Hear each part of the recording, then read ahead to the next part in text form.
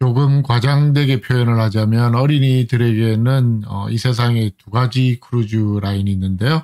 디즈니 크루즈와 그 외 나머지 크루즈 라인들입니다.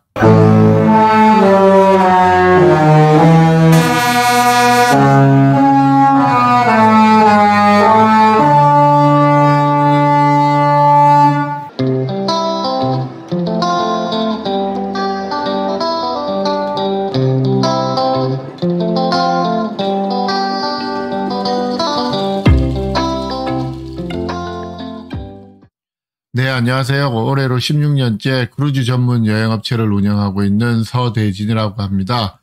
오늘은 크루즈 탐구 생활 세 번째 시간으로 어린이들에게는 가장 인기가 좋은 디즈니 크루즈에 대해서 준비를 했습니다.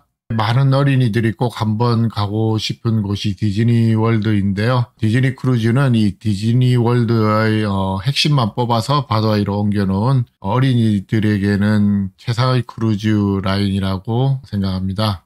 이번 어, 디즈니 크루즈 영상은 아주 자세한 내용들이 많이 들어 있어서 실제 디즈니 크루즈를 준비하시는 분들에게는 꽤 많은 도움이 될 거라고 생각을 하는데요.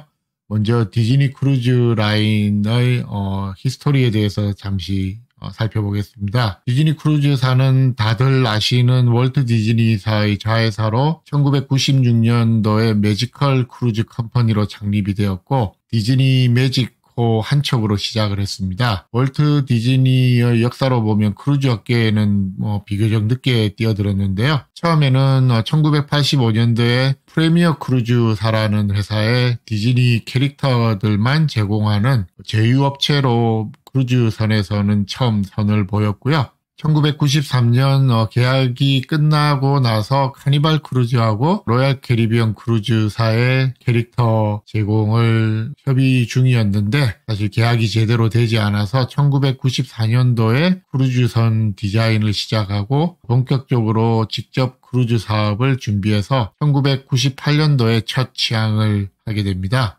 현재 전 세계 크루즈 시장에서 승객 수로는 2.2% 정도, 매출로서는 2.7% 정도를 차지하고 있는데 많은 크루즈사들 중에서 가장 unique한 상품이라서 뭐 크루즈 탐구 생활 세 번째 시간으로 특별히 디즈니 크루즈를 준비했습니다. 현재까지 나와 있는 디즈니 드림과 그 sister ship, 디즈니 판타지호, 그리고 기존에 있던 매직과 원더호에 대해서 설명을 드리고요. 내년 2022년도에 나올 어, 디즈니 위시호에 대한 내용은 현재까지 나온 정보들을 바탕으로 어, 이번 영상을 준비했습니다. 거의 매년 한 척씩 배를 어, 새로 도입하는 다른 메이저 크루즈사들하고는 달리 디즈니 크루즈는 대략 10년 정도에 한 번씩 새 배를 도입하고 있는데요. 그때마다 많은 기대를 받고 화제가 되고 있습니다. 2021년 7월 현재 디즈니 크루즈사가 보유하고 있는 크루즈선은 총 4척인데요. 어, 내년에는 14만 4천 톤급의 새로운 디즈니 크루즈선이 도입이 되고 그 이후로 어, 추가로 두 척이 차례로 도입될 예정입니다. 디즈니 매직과 디즈니 원더는 어, 같은 8만 4천 톤급으로 건조된 지 20년이 좀 넘었는데요. 2015년도와 2019년도에 리노베이션을 해서 아직 꽤 좋은 상태를 유지하고 있습니다. 그리고 디즈니 드림과 판타지호는 13만 톤급으로 10년이 좀 넘은 배인데 어, 마찬가지로 2017년과 2018년도에 리노베이션을 새로 했고요. 내년 2022년에 새로 나올 디즈니 위시호는 현재 내년 일정 예약을 받고 있는데요. 그 부분은 뒤에 좀 더 자세히 살펴보도록 하고요. 디즈니 위시호는 14만 4천 톤급이고 향후 나올 같은 급 두 척의 배는 어, 아직 크루즈선 이름은 정해지지 않았고요. 어, 똑같은 14만 4천 톤급 두 척입니다. 디즈니 드림을 출시한 지 10년이 넘게 새 배를 출시하지 않다가 새로 선보인 디즈니 위시호가 요즘 많은 관심을 받고 있는데요. 현재 계획대로라면 디즈니 위시호는 2022년 6월에 첫 출항을 할 계획이고요. 아마 디즈니 위시호는 다음 해 크루즈선이 나올 때까지는 가격도 가격이지만은 뭐 성수기, 뭐 여름방학 이럴 때는 아주 일찍 예약하지 않으시면 예약하기도 쉽지 않으실 것 같습니다. 여름방학이나 뭐 연말 등 성수기에 만약에 디즈니 위시호를 타시려면 보통 1년 전에 예약을 해도 빠르지 않을 정도로 예약이 빨리 진행되고 있습니다. 디즈니 매직과 원더는 같은 디자인으로 총 선실 877개, 2,700명 가량의 승객이 승선할 수 있고요. 디즈니 드림과 판타지호는 같은 크기로 총 선실 1,250개, 승객만 한 4,000명 정도가 승선 가능합니다. 새로 나올 디즈니 위시호는 어, 드림과 판타지보다 크기가 더 큰 14만 4천 톤급인데요. 선실수는 1,250개로 같아서 아마 다른 공간들이 더 넓고 좋을 걸로 예상이 됩니다. 디즈니 크루즈는 가족들을 위한 크루즈답게 선실 크기가 다른 일반 크루즈들에 비해 대략 한 20%에서 25% 정도 더 큰데요. 어, 같은 발코니나 뭐 같은 inside 선실이라고 해도 다른 크루즈사들의 배들보다 더 큰 편이라서 어린 자녀분들과 뭐 가족들이 지내시기가 아주 편하고 좋습니다. 그리고 다른 크루즈 선들과는 달리 일반 선실에도 어, 욕실에 샤워 시설만 있는 게 아니라 욕조가 따로 있어서 그런 선실 들이 꽤 많기 때문에 어린 자녀분들과 가시면은 아주 편하게 이용하실 수 있는 점이 디즈니 크루즈 선실의 장점입니다. 그리고 다른 크루즈선에 비해 선실이 연결된 어, connecting room 선실도 많이 있는 편이라서 연결된 선실을 찾으시는 분들도 좀 더 쉽게 예약을 하실 수가 있고요. 디즈니 크루즈 선실은 어, inside, ocean view, 발코니, 뭐 suite로 구분되는 건 다른 크루즈사들 배들하고 비슷한데 ocean view 선실과 발코니 선실에 5인용 선실이 많이 있는 점이 좀 다른데요. 자녀분이 3명이 있는 가족들은 이 5인실이 예약에 많은 도움이 됩니다. 참고로 말씀드리자면 크루즈는 3인실에는 4인 예약이 불가능하고 4인실에는 5인 예약이 불가능합니다. 아무리 어린 아기라도 뭐 예외는 없고요. 그래서 다른 크루즈를 예약하실 때 5인 가족은 2명 플러스 3명 그렇게 해서 선실 2개를 예약하셔야 하는 경우가 많은데 디즈니 크루즈는 5인용 선실이 상당히 많기 때문에 5인 가족이 예약하시기가 아주 좋은 편입니다. 그럼 각 선실 종류별로 등급과 차이점을 좀 설명해 드리겠습니다. 먼저 디즈니 원더와 매직호의 선실 등급을 설명해 드리고 그 다음에 디즈니 드림과 판타지호의 차이점을 설명을 좀 드리겠는데요. 먼저 inside 선실입니다. inside 선실은 일반 inside 선실로는 11등급이 있는데 뭐 11A, B, C 이렇게 세 가지가 있고요. 이 11등급은 3인실도 있고 뭐 4인실도 있는데 크기는 100 84 square feet 대략 한 17제곱미터 정도가 되고요. 11등급 뒤에 붙은 뭐 A, B, C 알파벳은 선실 위치에 따른 어, 등급 차이가 되겠습니다. 그 다음으로는 어, deluxe inside 선실로 10등급인데요. 이것도 마찬가지로 10A, 10B, 10C 이렇게 등급이 나눠져 있는데 카테고리 10, 10등급 deluxe inside 선실의 크기는 214 square feet으로 약 20제곱미터 정도 되고요. 이 10등급 deluxe inside 선실은 11등급 inside와 달라서 욕실에 욕조와 샤워룸이 있고 변기가 분리되어 있습니다. 역시 위치에 따라서 A, B, C 어, 등급으로 세분화되고요. 그 다음은 ocean view 선실인데요. ocean view 선실의 일반 ocean view 선실은 9등급으로 A, B, C, D 4개 등급, 그러니까 9A, B, C, D 어, 이런 식으로 4개 등급으로 나눠지는데 9등급 ocean view 선실은 10등급 inside 선실과 크기는 같은 어, 214 square feet 약 20제곱미터 정도 ocean view 선실이니까 선실에 창이 있고요. 이 창은 열 수는 없습니다. 어, 다음으로는 발코니 선실인데요. 어, 발코니 등급은 일반 발코니 선실은 디즈니 어, 웹사이트에 가보시면 deluxe stateroom with verandah로 되어 있는데 5등급이나 6등급 이전에 7A 등급 navigator verandah 선실 등급이 있습니다. 이 7A 등급은 크기는 214 square feet으로 약 20제곱미터 정도고요. 7등급 발코니 선실은 뭐 개수가 몇 개 되지 않기 때문에 그리고 가격적인 면에서 조금 뭐 저렴하기 때문에 뭐 꽤 빨리 예약이 마감되는 편인데 저는 뭐 개인적으로는 별로 권해드리지 않는 선실입니다. 일반 regular 발코니 등급은 5등급으로 5A, 5B, 5C 이렇게 세 가지가 있고 그 다음에 6등급으로 6A 등급해서 총 4가지가 있는데요. 선실 실내 크기는 214 square feet 정도 되니까 ocean view하고 같은데 발코니가 추가로 54 square feet 정도 약 한 5제곱미터 정도 크기의 발코니가 있기 때문에 실내 선실과 발코니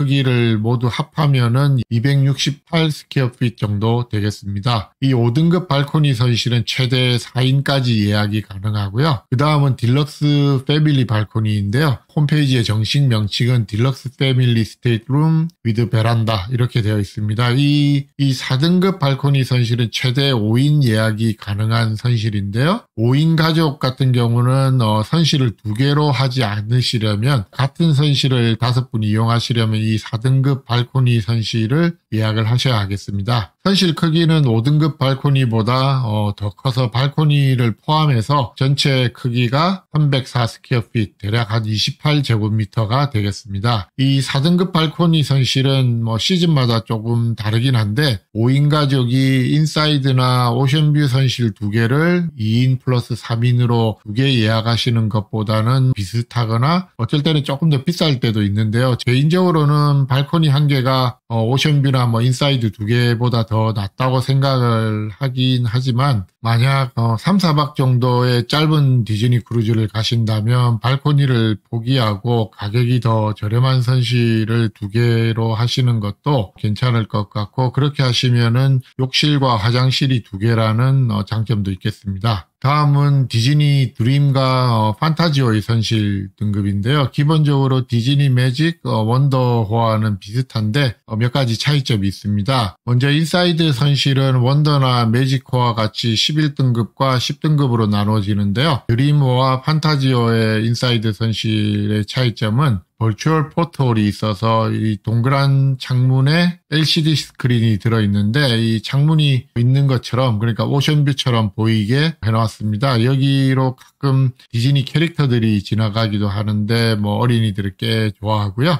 ocean view 선실은 디즈니 원더호나 매직호처럼 9A 등급부터 9D 등급까지 네 가지 등급이 있는데요. 드림과 판타지호에는 이 ocean view 선실에 8등급 ocean view 선실이 추가로 있습니다. 예 이 A, B, C, D 어, 네 가지 등급의 8등급 ocean view 선실이 있는데요. 9등급 ocean view 선실보다 어, 크기가 훨씬 더 큰 241 square feet이고 22 제곱미터가 좀 넘는 크기인데 8등급 ocean view 선실에는 5분이 예약이 가능합니다. 어, 원더와 매직코에는 5인 가족이 같은 선실을 쓰시려면 꼭 4등급 발코니 선실을 예약하셔야 하는데요. 드림과 판타지호에는 5인 가족 같은 경우 4등급 발코니를 하실 수도 있지만 8등급 오션뷰 선실을 예약하실 수도 있는데요. 8등급 오션뷰 선실에는 창문 앞에 앉을 수 있는 공간이 있는 점이 약간 특이하고요. 사진에서 보시는 이 큰 창문의 선실들이 8등급 오션뷰 선실들이 되겠습니다. 일반 발코니 선실은 원더와 어, 매직호처럼 5등급과 6등급, 7등급이 다 있는데요. 어, 5등급에는 A, B, C, D, E가 있고 6등급은 어, 6등급 A, 6등급 B 그리고 7 등급 A 이렇게 세분화되어 있는데 5E 등급하고 어, 6등급 AB 그 다음에 7등급은 선실 위치가 그렇게 좋은 편은 아니고요. 5등급이나 6등급 발코니 선실은 최대 4인까지 예약이 가능하고 보통 2인용 침대와 sofa bed 또는 뭐 천장에서 내려오는 bunker bed가 추가로 있어서 4인용 침대가 되겠습니다. 그리고 4등급 발코니는 5인용 선실인데요. 4, A, B, C, D, E 총 5 개 등급이 있습니다. 선실 크기는 발코니를 포함해서 총 299 square feet인데요. 대략 한 28제곱미터 정도 어, 되는 크기입니다. 그 다음으로는 컨시어지 선실인데요. 크게 어, 컨시어지 발코니와 스위트를 다 아울러서 컨시어지 선실로 포함을 하는데요. 컨시어지 선실에는 일반 선실이 없는 어, 다음과 같은 몇 가지 특별한 혜택이 있습니다. 먼저 승선하시는 날 항구에서 뭐 우선 승선하시고 이제 수속하시는 줄도 좀 다르고요. 그 다음에 컨시어지 어, 승객들만 이용하실 수 있는 전용 라운지가 따로 있고요. 오전 7시부터 밤 10시까지 오픈하는 라운지를 이용하실 수 있고 그 다음은 매일 뭐 칵테일 아워가 있어서 무료로 칵테일을 드실 수가 있고요. 그 다음에 선내 뭐 행사 예약과 기항지 옵션 관광 예약에 우선권을 드리는데 이 부분이 아주 큰 혜택이 되겠습니다. 나중에 조금 설명을 드리겠지만 디즈니 크루즈는 뭐 선내 여러 가지 행사와 기항지 옵션 관광 등이 뭐 예약이 빨리 끝나는 경우가 많기 때문에 이 컨시어지 선실 승객들은 좀 더 일찍 예약을 하실 수 있어서 상당히 유리한 면이 많이 있겠습니다. 그 다음에 항구 시설이 없는 곳에는 tender boat 우선 승선권도 드리고요. 욕실에는 좀 더 특별하고 업그레이드된 amenity를 제공해 드립니다. 먼저 원더와 매지코의 컨시어지 선실 중에 가장 작은 선실은 V등급 concierge 발코니 선실인데요. 어, 4등급 발코니와 비슷해서 5인까지 예약이 가능하고요. 그 다음에 suite 선실로는 크게 세 가지가 있는데 T등급의 one bedroom suite이 있고 크기는 614 square feet 정도, 57제곱미터 정도 되고요. 최대 5인까지 예약이 가능합니다. 그 다음으로는 two bedroom suite이 있는데 S등급이고요. 945 square feet으로 어, 대략 한 88제곱미터 정도. S등급 two bedroom suite은 최대 7명까지 예약이 가능합니다. 그리고 디즈니 원더호와 매직호의 가장 큰 suite 선실은 단 두 개만 있는데요. 이 suite 선실의 이름은 디즈니 창업자 이름인 월트 디즈니와 로이 디즈니의 이름을 따서 월트 디즈니 royal suite, 어, 로이 디즈니 royal suite으로 두 개가 있습니다. 등급은 R 등급이고요. 크기는 1029 square feet으로 약 한 96제곱미터가 되고 7인까지 예약이 가능한데요. 대략 한 30평 아파트 정도 크기입니다. 이 royal suite 선실은 크루즈 예약을 개시하면 바로 예약을 하셔야 하는데요. 아니면 예약이 거의 불가능하다고 보셔야 하겠습니다. 5인용 V등급 concierge 발코니 선실은 동일하고요. 그 다음은 T등급의 one bedroom suite이 있습니다. 크기는 622 square feet, 어, 한 58제곱미터 정도 되고 드림과 판타지호에는 S등급 two bedroom 선실은 없고요. 최대 크기의 어, 최고 등급 선실은 어, R등급 suite인데요. 선실 크기는 898 square feet 정도로 원더나 매직호의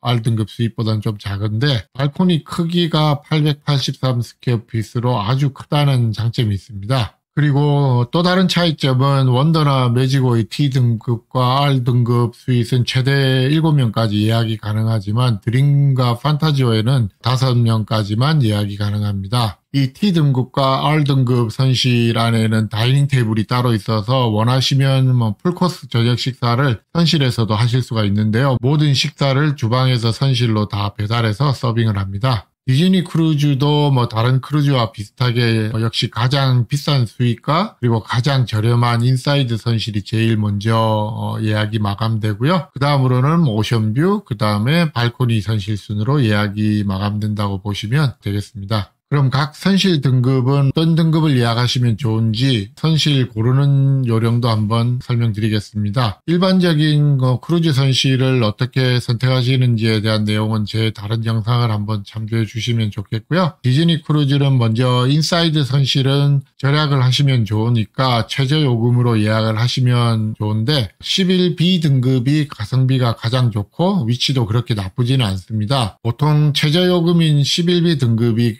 가장 먼저 마감이 되니까 예약이 좀 늦으신 분들은 11A 등급으로 하셔도 되겠는데요. 10등급 inside 선실은 크기는 좀 크지만은 사실 요금을 조금 더 보태면은 같은 크기의 ocean view 9등급으로 예약을 하실 수가 있으니까 굳이 10등급 inside 선실보다는 저는 9등급 ocean view 선실을 더 권해드리고요. ocean view 선실도 9B 등급이 어, 위치로 보면 가성비가 가장 좋지만 어, 예약이 늦어서 없다면은 9A 등급도 뭐 나쁘지 않고요. 9D 등급은 위치가 별로 좋지 않으니까 가격이 아주 싸지 않으면 피하시는 게 좋겠고요. 9C 등급은 뭐 9B 등급과 보통 가격 차이가 크게 나지 않기 때문에 저는 9B 등급으로 보내드립니다. 발코니 선실은 5D 등급이나 5C 등급 어, 둘다 가성비가 괜찮기 때문에 둘 중에 남아있는 걸로 어, 예약을 하시면 되는데 5B나 제일 높은 5A 등급은 충수는 뭐 한두 층 정도 올라가지만 굳이 한두 층 더 높은 선실을 더 비싼 가격을 내고 하실 필요는 없다고 보고요. 다만 예약이 늦으면은 뭐 어쩔 수 없이 5B나 5A 등급을 하셔야 하겠습니다. 대체적으로 디즈니 크루즈에서는 이 5등급 에서는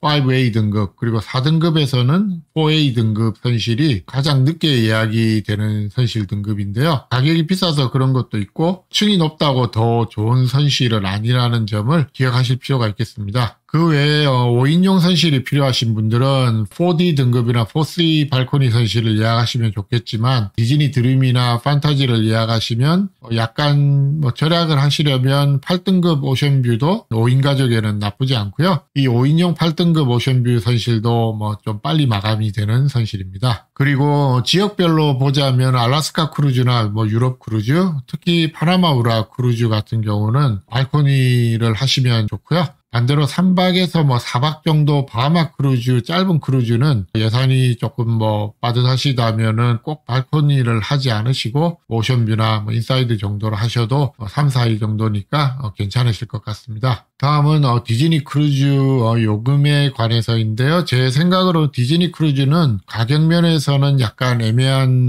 포지션에 있다고 보는데요. 참고로 크루즈 라인 종류는 크게 네 가지로 나눠집니다. contemporary 크루즈, 프리미엄 크루즈, upscale 크루즈, 그 다음에 럭저리 크루즈 이렇게 네 가지인데요. contemporary 크루즈에는 어, 많이 들어보신 카니발 크루즈나 로얄 캐리비언, 노르웨이지언, 코스타, MSC 같은 크루즈사들이 주로 대형선으로 운항을 하고 뭐 가장 대중적인 크루즈 라인들이고요. 프리미엄 크루즈는 셀레브러티나 프린세스, 뭐 홀랜드 아메리카 같은 라인들이 있고요. 프리미엄 크루즈와 럭저리 크루즈 사이에 어, upscale 크루즈가 위치를 하고 있는데요. 이 upscale 크루즈는 생긴 지는 그리 오래되지는 않았는데 럭저리 크루즈보다는 좀 싸고 프리미엄보다는 비싼 편이고요. 이 upscale 크루즈 라인으로는 뭐 Oceania 크루즈라든지 Azamara, Viking Ocean 크루즈 뭐 이런 크루즈사들이 있겠습니다. 그리고 그 위에 최상급 럭저리 크루즈사로는 크리스탈, 뭐 실버시, 시본, 뭐 리전 세븐시, 리치 칼튼 야트 컬렉션이라든지 이런 최상급 크루즈사들이 럭저리 크루즈로 어, 분류가 되어 있습니다. 그런데 어, 이 디즈니 크루즈는 뭐 미국에서는 대개 contemporary 또는 뭐 프리미엄급 크루즈로 분류가 되는데 가격으로 보면은 거의 항상 프리미엄급 이상을 유지하고 있고요. 성수기 가격을 보면은 가끔은 뭐 upscale 크루즈 정도의 가격대도 많이 보입니다. 뭐 대략적으로 비교하자면은 뭐 같은 출발일에 같은 기간의 다른 뭐 Carnival이나 Royal Caribbean, Norwegian 크루즈하고 비교를 해보면 디즈니 크루즈는 거의 항상 뭐 두 배 이상 비싼 가격을 유지하고 있고요. 그래서 가격 면에서 보자면 프리미엄급 크루즈 그 이상인데 제 개인적인 생각으로는 어린이들에게는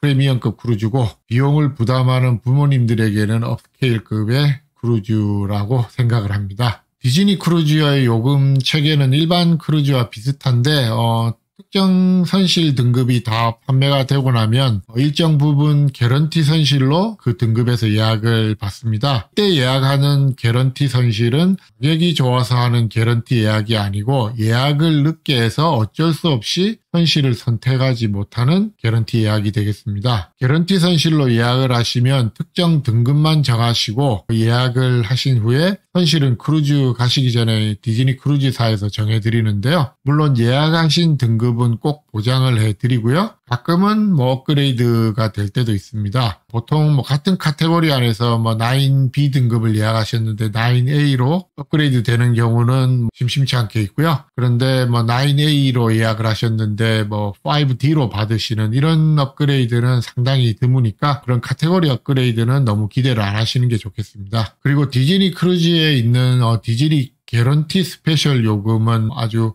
할인이 많이 된 요금이 따로 있는데요. 디즈니 크루즈에 종종 어, 비수기에 이런 개런티 할인 특별 요금이 나옵니다. 예약 등급은 평소에는 어, 보이지 않는 어, 등급인데 IGT, OGT 그리고 VGT 등급이 나오는데요. 이 등급으로 예약을 하시면 상당히 많은 할인을 받으실 수 있는데 할인 폭이 큰 대신 조건이 좀 까다로운 요금입니다. 가장 주의해야 할 점은 환불이 전혀 안 되는 요금이고요. 승객이 선실을 정하실 수도 없고 승객 변경도 안 되는 아주 까다로운 요금이기 때문에 예약하실 때 뭐 상당히 유의를 하셔야 되는 요금입니다. 가격이 아주 저렴한 대신 단점이 어 상당히 많이 있는 그런 요금이 되겠습니다. 그 외에도 플로리다 주에 거주하는 뭐 플로리다 거주자 할인 요금이 있는데요. 이 플로리다 거주자 할인 요금은 가끔 뭐 비수기에 나오기는 하는데 선실에 한 분만 플로리다 거주자면은 이 요금 혜택을 받으실 수가 있겠습니다. 그리고 디즈니 크루즈에는 어, 군인들에 대한 할인 요금도 있는데요. 군인 가족들이 가실 때 좀 할인을 받으실 수 있는 요금이 어, 물론 1년 내내 있는 게 아니고 어, 비수기에 가끔 있습니다. 어, 물론 어, 미군만 해당이 되고요. 한국 군들은 해당이 안 되겠습니다. 디즈니 크루즈는 비수기하고 성수기 요금 차이가 아주 많이 나는 크루즈사인데요. 성수기에 디즈니 크루즈를 가시려면 보통 1년 전에 예약을 하시는 게 좋고요. 아무리 늦어도 6개월 전에는 예약을 하시는 게 좋습니다. 크리스마스라든지 뭐 미국의 3, 4월에 있는 봄방학 같은 경우는 사실 1년 전에 예약을 하셔도 늦는 경우가 많이 있고요. 여기서 늦었다고 제가 표현하는 건 어, 예약이 아주 불가능하다는 말은 아니고요. 어, 원하는 가격대의 선실이 없어서 어쩔 수 없이 더 비싸게 예약을 하셔야 되는 뭐 불이익이 있다는 점이고요. 그 말은 곧 디즈니 크루즈는 일찍 예약하실수록 절약이 가능하다는 말이 되겠습니다. 단 예외가 있다면은 9월에서 10월경에 허리케인 시즌에 바하마나 캐리비안 크루즈는 너무 서두르시지 않으셔도 되는데 사실 허리케인이 오면 좀 곤란해질 수도 있기 때문에 그때는 여행 계획을 뭐 잡지 않으시는 게 더 나을 수도 있겠습니다. 디즈니 크루즈의 성수기는 아래와 같은데요. 어, 아무래도 어린이들을 위한 크루즈라서 방학 때 요금이 많이 비싸집니다. 성수기는 2월에 미국 Presidents' Day 연휴 때 하고요. 그 다음에는 3월, 4월에 어, 미국 봄방학 주간 부활절 봄방학 기간인데 매년 날짜는 좀 변경이 됩니다. 그리고 6월에서 8월 사이 어, 여름 방학 기간은 당연히 성수기고요. 그리고 11월 말에 있는 추수감사절 기간, Thanksgiving 기간도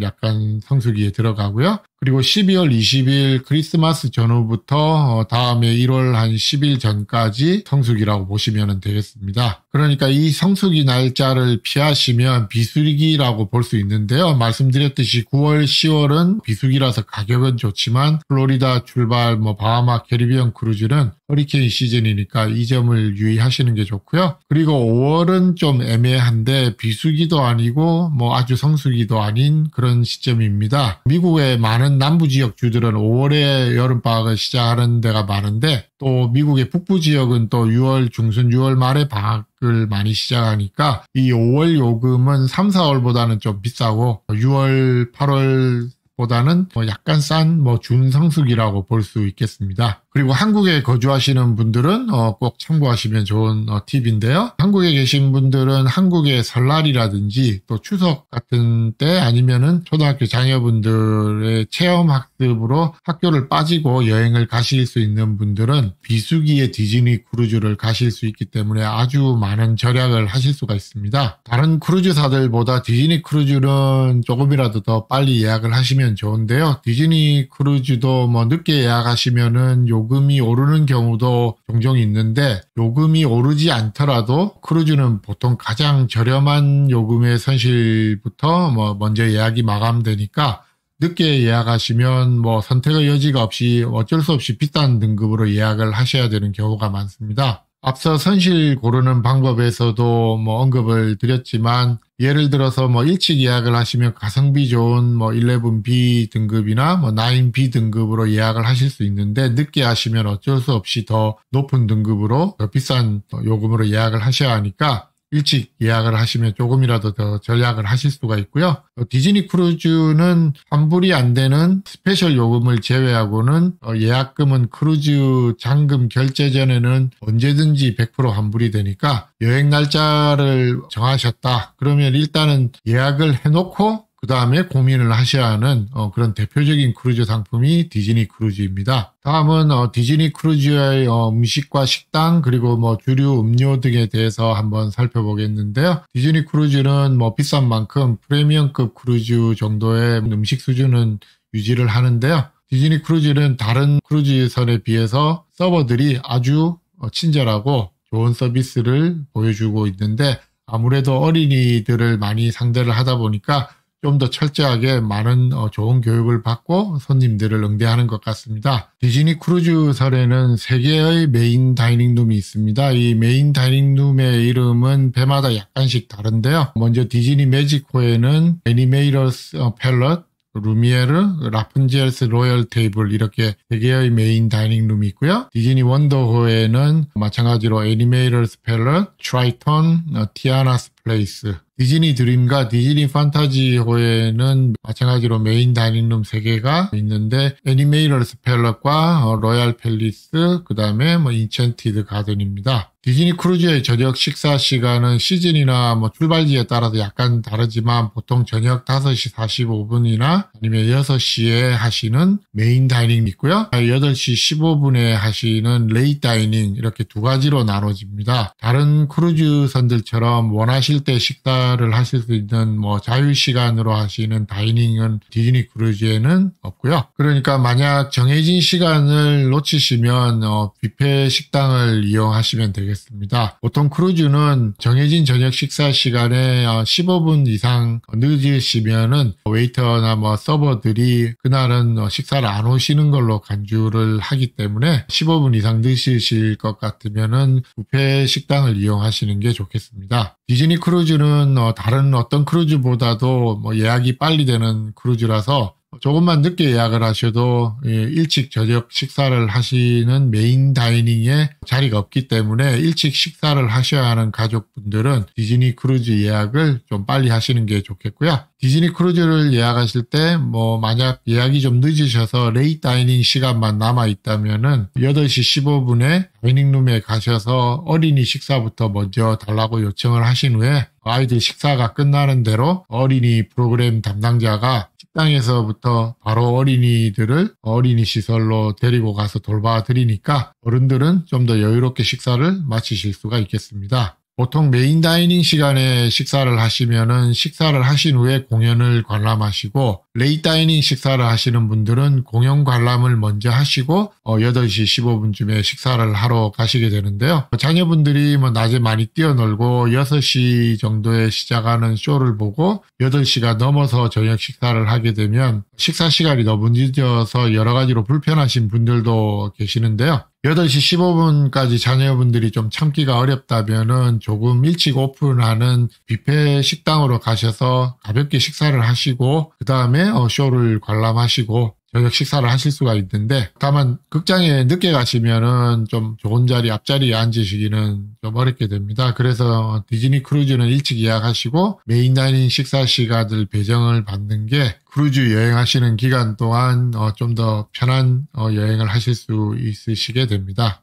그리고 디즈니 크루즈의 드레스 코드는 어, 비즈니스 캐주얼로 생각을 하시면 되겠는데요. 실제로 7박 일정에는 포멀 라이시 하루 있습니다. formal night은 정장을 입고 저녁 식사를 하시는 날인데 사실 어린 자녀분들과 가시는 디즈니 크루즈의 특성상 정장을 입으시는 분들이 아주 많지는 않은 편입니다. 뭐 그래도 이날은 정장을 안 입으시더라도 비즈니스 캐주얼 정도는 입으시는 게 좋겠습니다. 그 외 하루는 뭐 해적 어, 테마 파티가 있는데 해적 복장이라든지 뭐 bandana라든지 그런 복장을 준비하시는 것도 좋겠고요. 어쨌든 저녁 식사 때는 청바지, 반바지, 슬리퍼 뭐 이런 너무 편한 복장은 피하시는 게 좋겠습니다. 디즈니 크루즈뿐만 아니라 어떤 크루즈를 타시더라도 하다못해 뭐 복장이 자유롭다는 Norwegian 크루즈를 타시더라도 저녁 식사 때는 어, 너무 편한 복장은 안 하시는 게 좋겠습니다.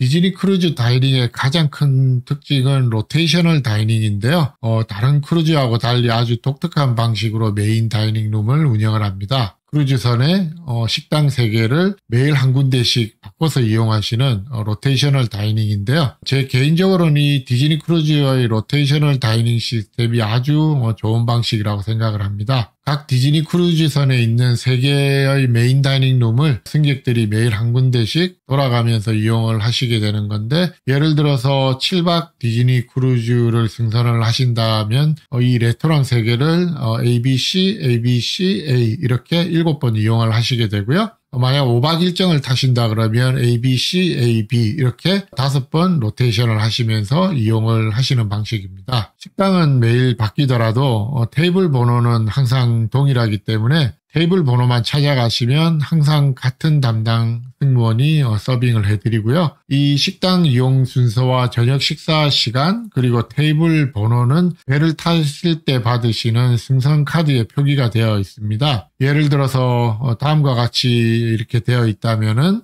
매일 저녁 5시 45분에 178번 테이블로 가시면 되고요. 식당은 Royal Palace, Animator's Palate, Enchanted Garden 이런 순서로 매일 한 번씩 돌아가면서 이용을 하시게 되겠습니다. 3박 크루즈라면은 한 번 로테이션을 돌고 세 번 이용하시고 어, 끝나게 되고 만약에 4박 크루즈라면 첫 번째 Royal Palace를 한 번 더 가시게 되는 어, 그런 순서가 되겠는데요. 승선 첫날 어, 저녁 식사 때 시간에 맞춰서 해당 레스토랑으로 가시면은 거기서 담당 승무원을 만나시게 되는데요. 각 테이블에는 서버와 assistant server가 있고요. 전체 식당을 관장하는 head server가 있습니다. 식당이 바뀌더라도 이 서버와 assistant server가 매일 저녁 어, 식사를 도와드립니다. 그러니까 식당만 매일 변경되고 테이블 번호와 서버들은 항상 같은 그런 시스템입니다. 서버들은 첫날부터 승객들의 취향을 잘 파악해서 어린 자녀분들과 함께하는 저녁 식사를 아주 즐겁고 편하게 하실 수 있도록 잘 도와드리는데요. 제 개인적인 경험으로는 디즈니 크루즈의 승무원들, 특히 식당의 서버들의 친절도는 제가 경험해 본 크루즈 중에서는 거의 뭐 최상급이었습니다. 손님이 아주 편안하게 저녁 식사를 하실 수 있게 뭐 세심하지만은 그렇게 불편하게 느끼지 않는 그런 배려를 느낄 수가 있고요. 디즈니 크루즈의 식사는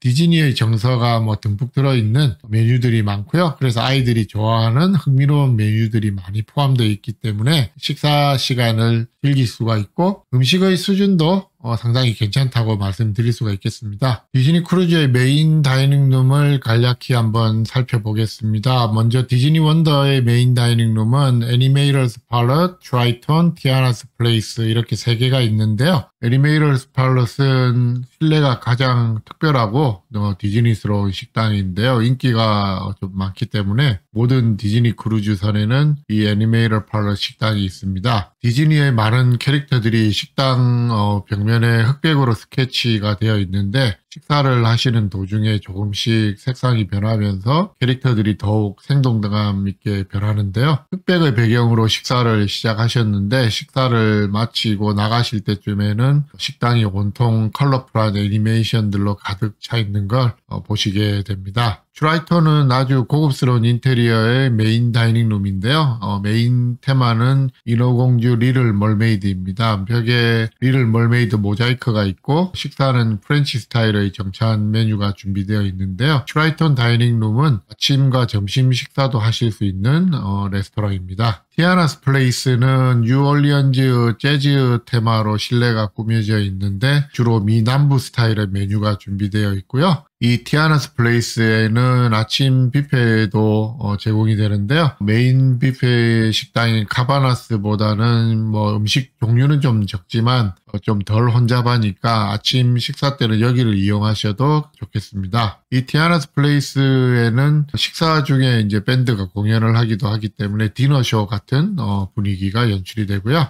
다음은 디즈니 매직호인데요. 마찬가지로 Animator's Palate, 어, Lumiere, Rapunzel's Royal Table 이렇게 세 개의 main dining room이 있고요. Animator's Palate은 먼저 설명드린 바와 같고 Lumiere는 원더호의 Triton 식당이 Little Mermaid 인어공주를 테마로 했다면은 이 Lumiere 레스토랑은 미녀와 야수 Beauty and the Beast를 테마로 한 식당입니다. 식사는 어, Triton과 마찬가지로 French 스타일 메뉴가 나오고요. 아침과 점심 식사도 하실 수 있는 dining room입니다. 그리고 Rapunzel's Royal Table은 Tiana's 플레이스처럼 식사와 공연도 함께 하실 수 있는 디너쇼 같은 분위기 식당인데요. 식사를 마치실 때쯤 되면은 어, 애니메이션 라푼젤의 캐릭터들이 어린이들하고 같이 춤도 추고 즐기는 그런 시간을 갖는 꽤 즐거운 식사 시간을 제공해 드리는 식당입니다. 디즈니 드림과 판타지호에도 세 개의 main dining room이 있는데요.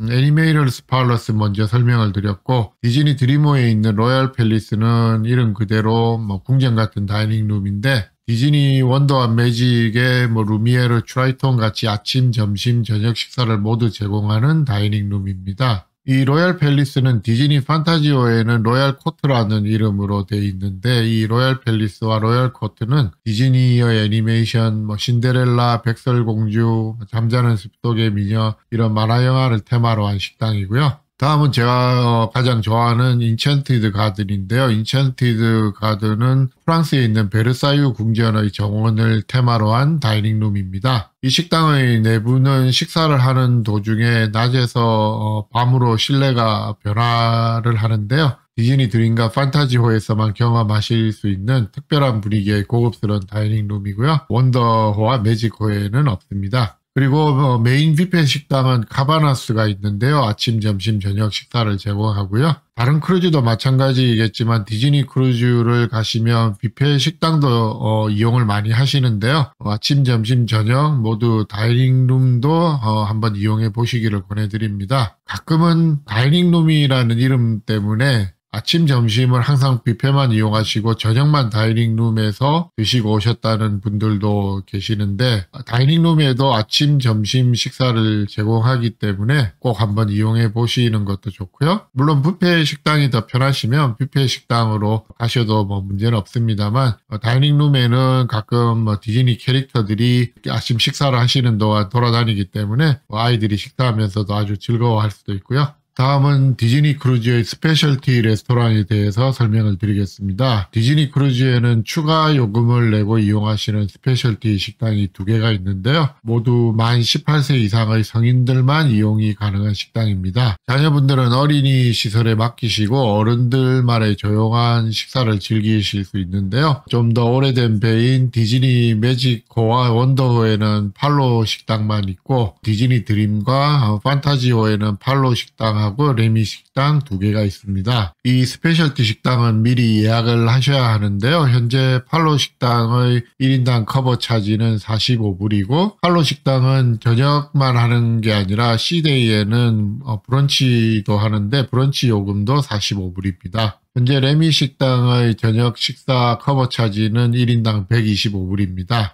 이 specialty 식당은 꼭 미리 예약을 하셔야 하는데요. 승선 후에 예약을 하시기는 상당히 어려우니까 크루즈 가시기 전에 미리 온라인으로 예약을 꼭 하시는 게 좋겠습니다. 이 cover charge만 내시면 식사는 따로 비용을 내지 않으셔도 되는데요. 다만 식사와 함께 와인 pairing을 어, 추가하시면 어, 추가 요금이 있습니다. 디즈니 크루즈의 성인 전용 레스토랑의 dress code는 business casual인데요. 항상 그렇듯이 뭐 청바지, 반바지, 티셔츠, 뭐 슬리퍼 같은 너무 간편한 복장은 어, 안 하시는 게 좋고요. 먼저 팔로 식당은 상당히 고급스러운 upscale 어, 북이탈리안 스타일의 레스토랑인데요. 각 승객당 팔로 식당은 디너 한 번, 브런치 한 번, 각 한 번씩만 예약을 하실 수가 있는데요. 팔로 식당의 많은 테이블들은 이 바다를 보면서 식사를 하실 수 있는 ocean view 테이블이 많아서 해가 지는 시간을 잘 맞춰서 예약하시면 식사를 하시면서 더욱 좋은 view를 즐기실 수가 있습니다. 만약 레미 식당을 저녁에 한번 이용하실 어, 계획이시라면 팔로 식당에서는 브런치를 해보시는 것도 좋은데요. 브런치 는 어, 말씀드렸듯이 어, 항해만 하는 C데이에만 있는데요. 브런치에는 어, 뷔페 스타일하고 뭐 주문해서 드시는 메뉴 두 가지가 다 있는데 음식 종류도 상당히 다양하고 꼭 한번 해보실 만한 브런치가 되겠습니다. 브런치 운영 시간은 오전 10시부터 오후 2시까지입니다. 모든 배에 다 있는 팔로 식당이 더해서 어, 디즈니 드림과 판타지호에는 레미 식당이 있는데요. 레미 식당은 어, 12층에 위치하고 있는데 두 식당 가운데 메리디언 바가 있습니다. 노르위전 크루즈를 타시면은 보통 오른쪽에 캐그니 스테이크 하우스가 있고 왼쪽에 다른 specialty 식당이 하나 있는데 가운데 메리디언 프라임 바가 있고요. 그 구조하고 사실 비슷합니다. 저는 개인적으로 항상 크루즈에서 저녁 식사를 하기 전에 예약 시간보다 조금 더 일찍 가서 마티니라든지 뭐 식전주를 좀 즐기는 편인데요. 이 디즈니 크루즈의 메리디언 바는 야외 테이블도 있어서 미리 가서 이렇게 뭐 술 한잔 하시면서 저녁 식사 시간을 기다리시는 것도 아주 괜찮을 것 같습니다. 레미 식당의 이름은 어 만화 영화 라따뚜이의 주인공인 레미의 이름에서 따왔는데요. French 요리가 주 메뉴입니다. 디즈니 월드에 있는 유명 고급 식당, 뭐 Victoria and Albert의 셰프, 뭐 스캇 허넬과 프랑스에 있는 Michelin two star 셰프인 아르노 랄망이라는 어, 셰프가 같이 준비한 메뉴인데요. 레미의 메뉴는 뭐 시즌에 따라서 좀 변경된다고 하고요. 그런데 이 레미 식당은 저녁 식사 코스만 있는 게 아니라 다른 코스도 몇 가지가 있는데요. 어, 4박 이상 일정에만 어, 이런 코스가 있는데 첫 번째는 레미 샴페인 브런치고요. 1인당 75불이고 샴페인 pairing을 하시면 30불이 추가되는 브런치 코스입니다. 어, 그 다음은 어, 디저트만 드시는 레미 디저트 experience인데 1인당 60불이고요. 와인 pairing을 추가하시면 25불이 더 추가되겠습니다. 어, 다섯 가지 디저트 코스와 커피 가 제공되는 디저트 코스입니다. 앞서 말씀드린 어, 레미 디너는 1인당 125불이고 만약에 와인 pairing을 하시면은 1인당 105불이 추가돼서 총 230불이 되겠습니다. 그리고 승선하는 첫날만 하기 때문에 많이 뭐 알려져 있지는 않은데요. Petites Assiettes 레미라는 승선 첫날만 있는 간단한 6가지 어, 코스 요리와 와인 tasting을 하는 프로그램인데 1인당 50불이 되겠습니다. 제 생각으로는 이 레미에서 하시는 디너는 크루즈 배 위에서 하실 수 있는 어, specialty 디너 중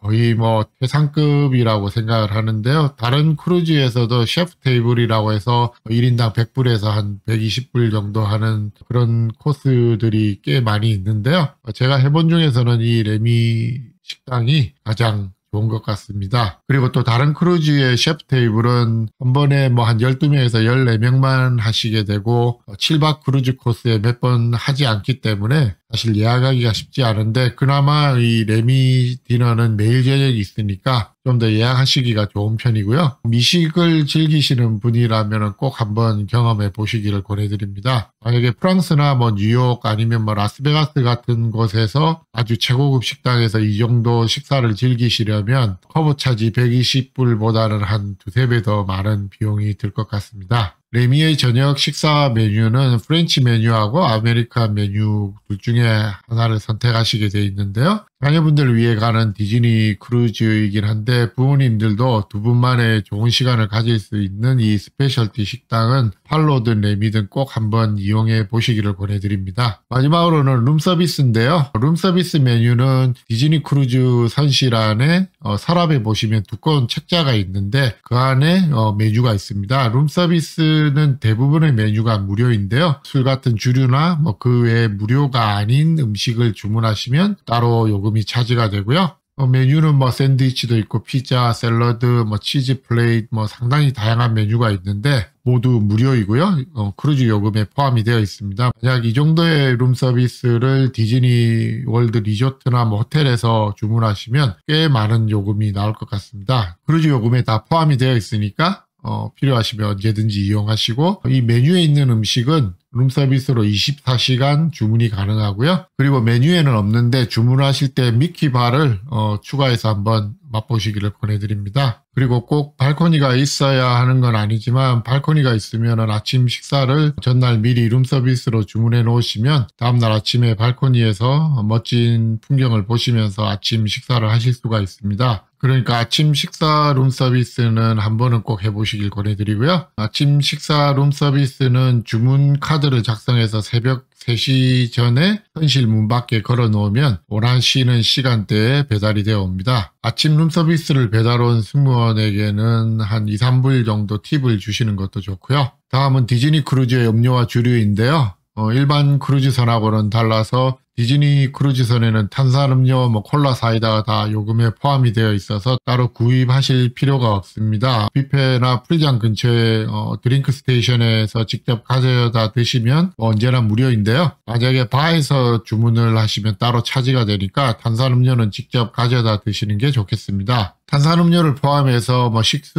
뭐 주스, 아이스티, 커피 등은 크루즈 요금에 다 포함이 되어 있고요. 디즈니 크루즈는 만 21세 이상 승객은 1인당 와인 2병이나 어, 맥주 6병, 뭐 6캔 정도를 가지고 승선을 하실 수가 있는데요. 저녁 식사 때 와인을 어, dining room으로 가져가서 드시면 병당 25불의 corkage fee가 charge가 되고 선실에서 드시면 뭐 이 corkage fee는 부과되지가 않고요. 만약에 인원이 많으시면은 와인을 750ml가 아닌 1.5리터 큰 병으로 가져가시면 어차피 작은 병이나 큰 병이나 콜키지피는 똑같이 25불이기 때문에 큰 병으로 가져가시면 콜키지피도 조금은 절약을 하실 수가 있겠습니다. 만약에 와인이나 맥주를 가지고 승선을 하신다면은 맡기는 어, 체크인하는 큰 가방에 넣으시면 절대 안 되고요. 꼭 들고 타시는 가방에 넣어서 승선을 하셔야 하겠습니다. 디즈니 크루즈는 그 외에 뭐 양주나 다른 주류는 반입이 안 되는데요. 휴양지 관광을 나가서 어, 현지의 와인이나 맥주를 구입하시면 승선 때하고 마찬가지로 반입을 해서 드실 수는 있습니다. 이때도 마찬가지로 1인당 와인 2병이나 뭐 맥주 6캔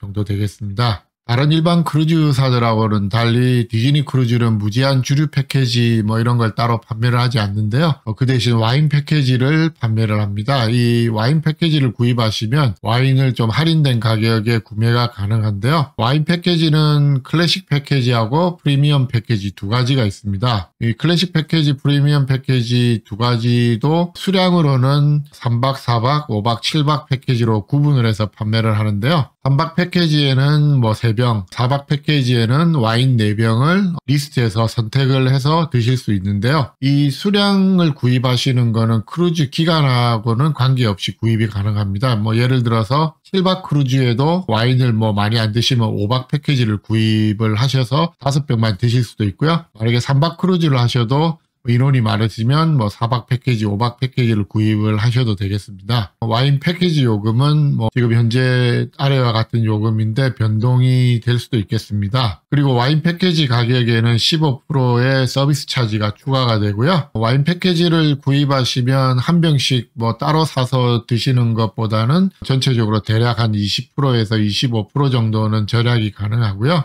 그래서 크루즈 기간 동안 저녁 식사에 어느 정도 와인을 드실지 대략 감안을 하셔서 패키지를 구입하시면 절약을 하실 수 있겠습니다. 혹시 저녁 식사를 마치셨는데 와인이 좀 남았다면 서버에게 보관을 요청하시면 다음날 저녁에 드실 수가 있습니다. 디즈니 크루즈는 어, 맥주 패키지도 판매를 하는데요. 보통 뭐 10여 가지 종류의 맥주가 있는데 6병에 30불, 어, 그리고 거기에 15% 서비스 차지가 추가가 되고요. 맥주 종류는 뭐 미국 출발 크루즈하고 유럽 출발 크루즈가 종류가 좀 다릅니다. 이 와인 패키지와 맥주 패키지는 배를 타서 구입하실 수도 있고요. 미리 온라인에서 구입을 하실 수도 있는데 뭐 미리 주문하신다고 더 할인이 되는 건 아니니까 저는 뭐 배 타서 구입하시기를 권해드립니다. 그리고 다른 크루즈에 없는 특이한 점은 어, 디즈니 크루즈에서는 기념품 같은 맥주 머그컵을 판매를 하는데요. 맥주를 즐겨 드시는 분들은 구입하시면 괜찮은데 이 머그컵을 어, 16불 95전 정도에 구입을 하시면은 컵도 드리고 토큰을 하나 드리는데 16온스 맥주를 구입하실 때마다 이 토큰을 바텐더에게 보여주면 22온스 맥주를 드립니다. 그러니까 이 맥주컵은 기념품으로 집으로 가져가시고 크루즈 기간 내내 맥주를 구입해서 드실 때마다 16온스 사이즈 맥주 가격으로 22온스 맥주를 드실 수가 있겠습니다. 그리고 어, 그날 그날 매일 나오는 뭐 오늘의 칵테일 해서 뭐 drink of the day라는 게 나오는데 대략 한 잔에 한 6불 정도로 저렴한 가격으로 칵테일 등을 판매를 하고요. 어린이용 술이 들어가지 않은 drink of the day는 한 5불 정도 하니까 이런 걸좀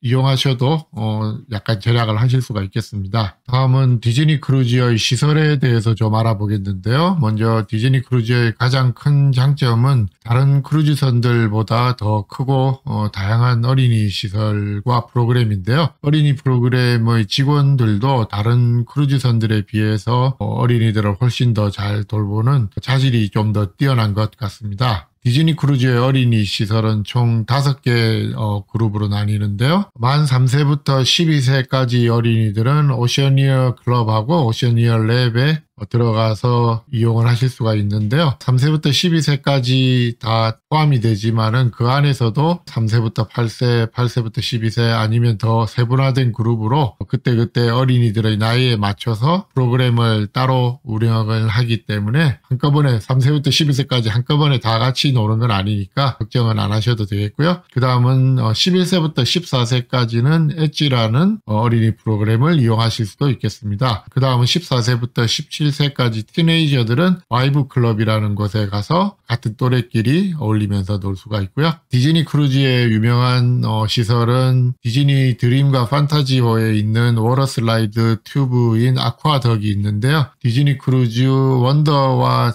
매직호에는 없고 드림과 판타지호에만 있습니다. 이 아쿠아덕은 인기가 좀 많아서 줄이 좀 긴 편인데요. 승선하시는 날 배를 타자마자 바로 수영복을 입고 가시면은 많이 기다리지 않고 이용을 해 보실 수가 있겠습니다. 디즈니 크루즈의 어린이 시설은 디즈니가 가지고 있는 막강한 컨텐츠를 바탕으로 아이들이 뭐 너무나 좋아하게 잘 꾸며 놓았는데요. 요즘은 스타워즈나 마블사의 슈퍼히어로 캐릭터들도 구비를 해놓고 있습니다. 디즈니 크루즈는 다른 크루즈들과 달리 배 안에 카지노가 없는데요. 어린이들을 위주로 꾸민 배긴 한데 성인들만을 위한 공간은 따로 마련이 되어 있습니다. 먼저 리노베이션을 한 디즈니 원더와 매직호의 성인 전용 시설들을 한번 살펴보겠습니다. 첫 번째는 Quiet Cove Pool인데요. 이 풀장은 18세 이상만 이용할 수 있는 성인 전용 풀장이고요. 어린이들이 없기 때문에 뭐 상대적으로 조용한 편이고 바도 따로 있고 자쿠지도 두 개가 뭐 풀장 바로 옆에 있습니다. 디즈니 크루즈 선안에는 바와 라운지가 여러 개 있는데 낮에는 이용 제한이 없지만 저녁 9시 이후에는 성인들만 이용하실 수 있는 곳이 여러 군데 있습니다. After Hours라는 지역으로 들어가시면 Crown & Fin Pub하고 캐딜락 라운지 그리고 Azure라는 시설들이 있는데요. Crown & Fin Pub은 English style 펍이고요. 와인, 맥주, 칵테일 등을 즐기실 수 있습니다. 간단한 안주거리도 메뉴에는 있지만 무료는 아니고요. 캐딜락 라운지는 피아노바 스타일로 1950년대 어, 캐딜락 승용차를 테마로 한 바입니다. 보통 저녁 6시부터 어, 12시까지만 오픈을 하고요. 캐딜락 라운지에는 Sommelier Bin이라는 와인 메뉴가 있는데요. 어, 한 잔에 10불을 내시면 그날 남아있는 와인 중에서 아주 비싼 와인이 있어도 어, 10불에 드실 수가 있고요. 만약에 뭐 더 저렴한 와인만 있으면 어, 10불 이하로 제 가격을 계산만 하시면 되는 뭐 재밌는 와인 메뉴인데요. 디즈니 크루즈사는 어차피 어, 오픈을 한 와인을 그날 판매하지를 못하면 버려야 되니까 뭐 이런 방식으로 판매를 하면은 서로 뭐 윈윈 하는 판매 방식인 것 같습니다. 그리고 아더는 어, 소극장 스타일의 시설인데요. 뭐 밴드 공연도 하고 가라오케가 진행이 되기도 합니다. 그 외에는 Cove Cafe가 있는데요. 성인 전용인데 뭐 커피 외에도 마티니, 위스키, 와인 뭐 이런 다양한 주류가 준비되어 있고요. 디즈니 크루즈는 뭐 그야말로 어린이들이 없는 곳이 없는데 그래도 이 풀장하고 뭐 바나 라운지 성인 전용 시설을 찾으시면 어린이들을 피해서 조금 더 조용한 어, 성인들만 나만의 시간을 가질 수 있는 장소가 되겠습니다. 그리고 또 다른 성인 전용 시설은 스파가 있습니다. 뭐 자녀분들하고 같이 가시는 크루즈라서 스파 시설에 관심을 가지는 분들은 사실 많이 없으신데요. 디즈니 크루즈 안에도 꽤 괜찮은 스파가 있고요. 이 스파 이름은 Rainforest Room인데요. 1일 사용권은 시즌에 따라서 약간 다르지만 대략 1인당 20불에서 25불 어, 정도로 구입을 하실 수가 있고 전체 일정을 구입하시면 좀 더 절약을 하실 수가 있습니다. 만약에 두 분이 같이 이용을 하신다면 전체 일정을 이용하시는 couple pass를 구입하시면 좀 더 절약이 가능한데요. 이 couple pass는 꼭 부부들만 구입을 할 수 있는 게 아니고 뭐 친구나 부모님과 같이 두 분이 구입하셔도 이 couple pass를 구입을 해서 절약을 하실 수가 있습니다. 이 디즈니 스파 1일 이용권은 미리 온라인에서도 예약을 해서 구입을 하실 수가 있는데요. 전체 일정 이용권은 승선 후에만 구입이 가능하고요. 이 Rainforest Room은 모든 디즈니 크루즈선에 다 있긴 한데요. 아무래도 3배인 디즈니 드림과 판타지호에 있는 어, 스파 시설이 훨씬 더 넓고 좋은데요. 새로 나오는 디즈니 위시호의 스파 시설도 얼마나 더 좋아졌을지 뭐 약간 기대가 되는 부분이기도 합니다. 그리고 스파와 함께 뭐 어느 크루즈선에나 다 있는 피트니스 클럽 어, gym도 있고요. 어, 운동을 하실 수 있고 여기도 성인 전용입니다. 그 외에 디즈니 크루즈 선안에는 뭐 많은 시설들이 있는데 다양한 카페, 라운지, 극장들이 있고요. 디즈니 크루즈 선 밖의 시설로는 유명한 디즈니 섬 Castaway Cay가 있습니다. 디즈니가 바하마에 보유한 어, 크루즈 승객들만 이용하실 수 있는 private island인 Castaway Cay는 뭐 아주 인기가 많은 시설인데요. 디즈니 섬은 디즈니 월드하고는 달라서 꼭 디즈니 크루즈를 타야만 갈 수 있는 곳이기 때문에 좀 더 특별한 것 같은데요. 3박에서 7박 사이의 바하마나 캐리비안 크루즈를 타시면 이 디즈니 섬을 들리시게 됩니다. 여름 시즌에는 5박 일정의 이 디즈니 섬을 두 번 들리는 더블 Castaway Cay 일정도 가끔 보일 정도로 인기가 많이 있습니다. 이 디즈니 섬 Castaway Cay에 가시면 그냥 뭐 바닷가에서 편하게 노셔도 좋고요. 점심 식사는 섬에 있는 식당에서 바베큐와 뭐 피자, 햄버거 그 외에 뭐 다양한 음식들이 부페로 제공이 되기 때문에 점심 식사를 하러 배로 돌아가실 필요는 없이 섬에서 바로 식사를 해결하실 수가 있습니다. 제가 디즈니 섬에서 가장 추천드리는 옵션은 Castaway Cay getaway 패키지인데요. Castaway Cay getaway 패키지를 구입하시면은 물놀이 할 때 쓰는 튜브하고 그 다음에 스노클링 장비 그리고 자전거 1시간 대여 이 세 가지가 포함이 되어 있는데 성인은 보통 45불 정도 어린이는 25불 정도 요금으로 이 세 가지가 포함된 패키지를 이용하실 수가 있습니다. 먼저 자전거를 타고 섬을 한 바퀴 돌아보시는 것도 꽤 괜찮고요. 1시간 자전거를 타신 후에 스노클링을 꼭 해보시고 남은 시간은 튜브 타고 물놀이를 하시는 이런 순서로 즐기시면 자녀분들하고 아주 즐거운 시간을 보내실 수가 있겠네요. 또 다른 한 가지 팁은 디즈니 드림호나 판타지호를 이용하신다면 섬에 너무 오래 있지 않으시고 좀 배로 일찍 돌아오셔서 뭐 배 안에 식사를 하시고 아쿠아덕 같은 시설들을 즐기시는 것도 어, 괜찮겠습니다. 평소에는 이 아쿠아덕이 줄이 길기 때문에 이용하시려면 좀 많이 기다리셔야 하는데 뭐 이런 port day에 가시면은 줄을 좀 덜 서고 좀 더 자주 이용을 하실 수가 있겠습니다. 뭐 앞에서도 뭐 말씀을 드렸지만 다른 크루즈와 디즈니 크루즈의 가장 큰 차이점은 이 디즈니 크루즈 배 자체에 있기 때문에 이 디즈니 크루즈선을 잘 즐기시는 것도 중요하다고 생각을 합니다. 조금 더 오버해서 말씀드리자면 저는 3박에서 4박 바하마 크루즈를 가신다면 바하마 나소에서는 하선을 하지 마시고 그냥 디즈니 배 안에서 하루를 잘 즐기시기를 권해드리는데요. 사실 바하마는 어, 다른 크루즈 배들로도 얼마든지 갈 수 있는 지역인데 어, 뭐 로얄 캐리비안, 카니발, 뭐 노르웨이지언을 타셔도 이 바하마를 가실 수가 있지만 이 디즈니 크루즈선은 꼭 이 디즈니 크루즈를 비싸게 예약을 하셔야 이용하실 수 있는 좀 특별한 장소이기 때문에 그래서 바하마에 내려서 시간을 뭐 보내시기 보다는 오히려 배에 남아서 디즈니 크루즈선을 더 많이 즐기시는 걸 권해드립니다. 나소 바하마를 어, 빼기가 좀 아쉽다고 생각하시는 분들도 계실 수가 있는데 디즈니 크루즈를 갔다 오신 분들 중에는 뭐 제 의견에 동의를 하시는 분들도 꽤 계실 거라고 생각을 합니다. 그리고 이 디즈니 섬에도 어, 성인 전용 구역이 있는데요. 세레니티 베이라는 성인 전용 비치가 있습니다. 손님들 대부분은 자녀분들하고 디즈니 크루즈를 가시지 뭐 성인들만 가시는 분들은 거의 없기 때문에 성인 전용 비치는 별로 이용을 안 하시 하시는데 그래도 뭐 한번 가보실 분들은 들려보셔도 좋겠고요. 어, 제가 디즈니 크루즈를 몇 번 갔을 때는 항상 보이는 분들이 좀 연세가 많으신 미국 분들이 어린 뭐 손주분들이나 자녀분들도 없이 어른들만 디즈니 크루즈를 즐기시는 분들도 꽤 많이 보이고요. 그리고 가끔 어 일본 뭐 젊은 대학생들 같은데 뭐 디즈니 덕후겠죠. 젊은 대학생들끼리 와서 디즈니 크루즈를 즐기는 것도 종종 보게 되는데요. 성인들만 가시는 분들은 이 성인 전용 비치를 이용하셔도 괜찮을 것 같습니다. 다음은 어 디즈니 크루즈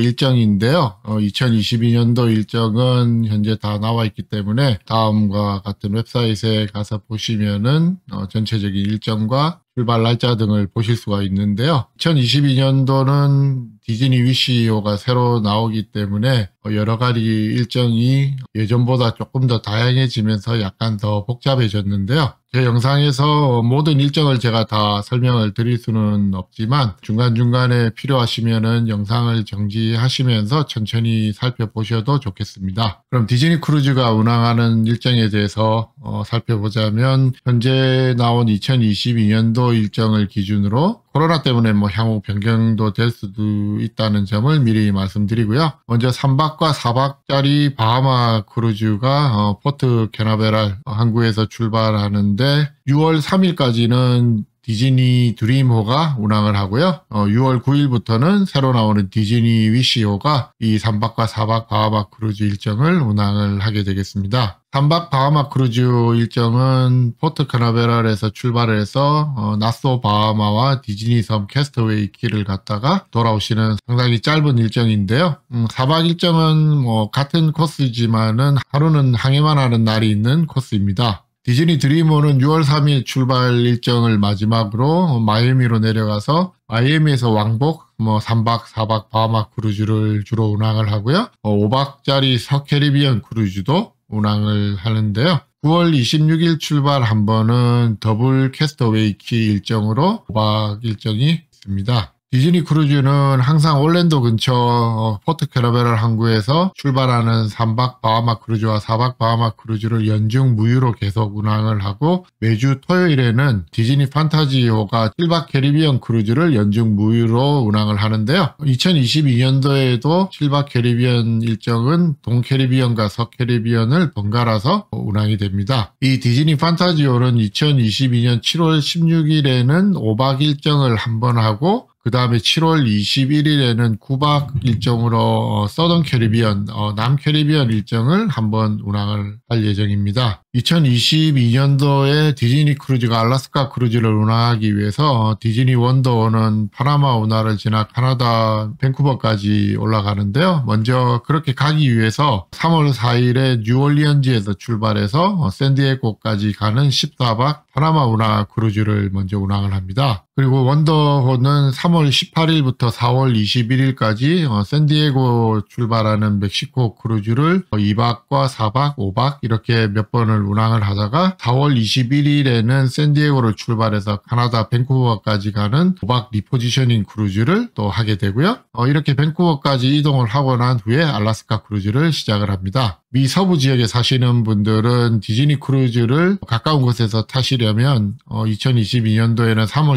18일부터 4월 21일까지가 어, 유일한 기회가 되겠습니다. 카나다 밴쿠버에서 출발하는 7박 어, 디즈니 알라스카 크루즈 일정은 다음과 같은데요. 주노 스케그웨이 캐치칸을 가는 코스가 대부분인데 중간에 6월 6일과 8월 1일 출발은 스케그웨이 대신에 Icy Strait Point를 가는 일정으로 어, 두번 정도는 다른 일정으로 운항을 하고요. 다음은 2022년도 유럽 디즈니 크루즈입니다. 2022년도 디즈니 크루즈 유럽 일정은 먼저 유럽 크루즈를 하러 가기 위해서 디즈니 매직호가 대서양 횡단 크루즈를 한번 하는데요. repositioning 크루즈가 되겠습니다. 13박 어, 일정으로 마이애미에서 출발해서 바르셀로나에 도착을 하는데 요. 5월 8일에 마이애미를 출발해서 포르투갈과 스페인 몇 군데를 거친 후에 바르셀로나에 도착을 하는 이 크루즈 코스도 날짜가 맞으시면은 사실 가격이나 어 이런 것들이 상당히 괜찮은 repositioning 크루즈가 되겠습니다. 어 만약에 자녀분들과 시간이 아주 많으신 분들은 파나마 운하 크루즈와 어 유럽으로 가는 repositioning 크루즈를 한번 계획해 보시는 것도 어 상당히 괜찮을 것 같습니다. 바르셀로나에 도착한 어 디즈니 매직호는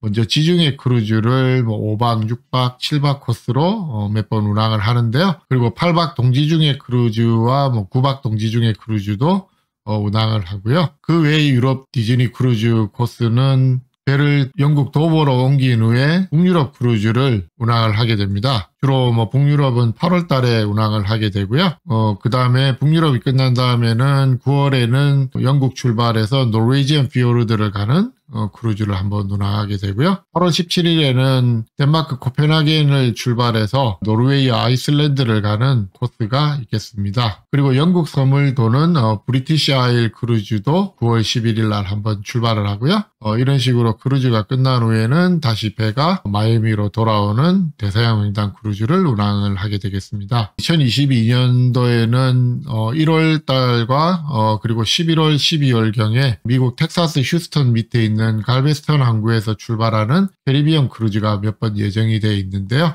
1월에 텍사스에서 출발하는 어, 크루즈를 운항한 후에 또 배가 뉴올리언즈로 옮겨서 뉴올리언즈에서 출발하는 4박과 6박 캐리비언 크루즈도 한 6번 정도 어, 예정이 되어 있습니다. 2022년도에는 하와이 크루즈는 현재로서는 일정이 없는 걸로 보입니다. 디즈니 크루즈를 하시는 분들은 바하마 크루즈나 캐리비안 크루즈를 많이 하시는데요. 플로리다 올랜도로 가셔서 디즈니 월드나 뭐 유니버설 스튜디오 같은 여행을 먼저 하시고 그 다음에 디즈니 크루즈까지 같이 하시는 분들이 많기 때문인 것 같습니다. 그리고 바하마 크루즈나 캐리비안 크루즈를 타셔야 디즈니 섬을 가실 수도 있고요. 가끔 디즈니 크루즈를 3박 정도 짧게 하시고 디즈니 월드나 뭐 다른 곳에 어, 더 많은 시간을 할애하셔서 여행 스케줄을 잡으시는 분들이 계신데 개인적으로는 디즈니 크루즈는 최소 4박 이상을 하시기를 권해드립니다. 3박은 뭐 상당히 짧습니다. 디즈니 크루즈뿐만 아니라 모든 크루즈는 점심때 항구로 가서 수속하고 승선을 하시고 나면 한 12시 뭐 2시 사이 정도가 되고 가방이 도착하면 짐 정리 좀 하다가 그러고 뭐 비상훈련 muster drill을 하고 나면은 보통 한 5시 정도에 배가 출발을 하는데요. 그럼 저녁 식사하시고 그날은 뭐 마감이 되는 거고요. 마지막 하선하는 날은 아침 식사를 일찍 하고 보통 오전 한 7시에서 9시 사이에 하선을 하시게 되니까 실제로 그날은 뭐 아침 식사만 하시고 배를 떠나시게 됩니다. 만약에 3박 4일 일정으로 디즈니 크루즈를 하시게 되면 승선 하선하시는 날을 제외하고 나면 사실 딱 이틀이 남는데 하루는 뭐 나소 바하마에 가고 하루는 디즈니 섬에 가기 때문에 다른 크루즈보다 뭐 훨씬 더 비싼 가격을 주고 디즈니 크루즈를 타셨는데 디즈니 배는 제대로 즐겨보지를 못하시고 하선을 하시게 되는 경우가 많습니다. 그래서 바하마와 디즈니 섬을 하루씩 가고 하루는 항해만 하는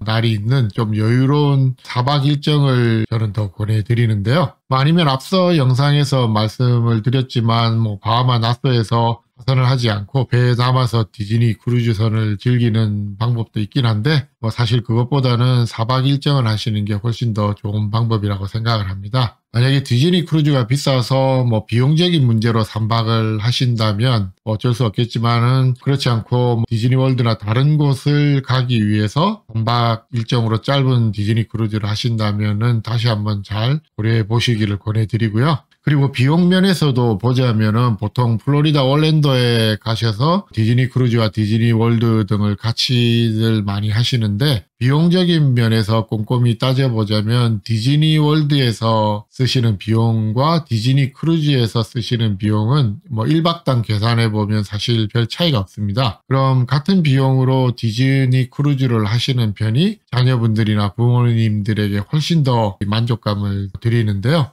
왜냐하면 캘리포니아에 있는 디즈니랜드하고는 좀 달라서 플로리다의 디즈니 월드는 규모가 상당히 크기 때문에 부모님들이 뭐 하루 종일 자녀분들하고 디즈니 월드 테마파크 안에 뭐 걷다가 구경하다가 뭐 놀이기구 이용하려고 줄 서다가 그렇게 하시다가 시간 다 가고 뭐 디즈니 테마파크 안에서 비싼 음식 사 드시고 그러고 나면은 사실 제가 왜 디즈니 크루즈를 더 하시는 게 좋다고 권해드리는지 해보시면 좀 이해가 가실 수도 있을 겁니다. 물론 뭐 제 개인적인 생각이고요. 디즈니 월드를 더 가치 있게 생각을 하시면 다른 어, 의견이 있을 수도 있겠습니다. 디즈니 크루즈를 예약하시고 승선을 하러 가실 때 알면 좋은 정보들을 좀 알려드리겠습니다. 결론부터 먼저 말씀드리자면 항구로 가실 때는 택시를 이용하시는 방법이 가장 편하고 안전한데요. 디즈니 크루즈를 타러 가장 많이 가시는 항구는 플로리다에 있는 올랜도 근교의 포트 카나베랄 항구인데요. 어, 유명한 케네디 우주센터가 있는 곳입니다. 이곳은 공항과 항구가 거리가 좀 있어서 가시는 방법에 대해 궁금해 하시는 분들이 어, 많은데요. 여기서 드리는 설명은 디즈니 크루즈뿐만 아니라 다른 크루즈를 타러 이 항구로 가실 때도 해당이 될 수 있겠습니다.